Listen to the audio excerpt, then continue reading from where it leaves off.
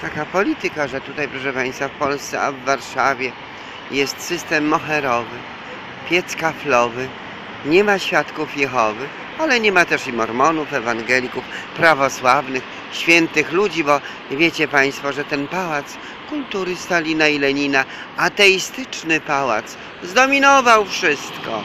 Jako budynek autorytarny, postawiony bezprawnie w miejscu prywatnym, co Państwo słyszą, co mówi Grzegorz Braun.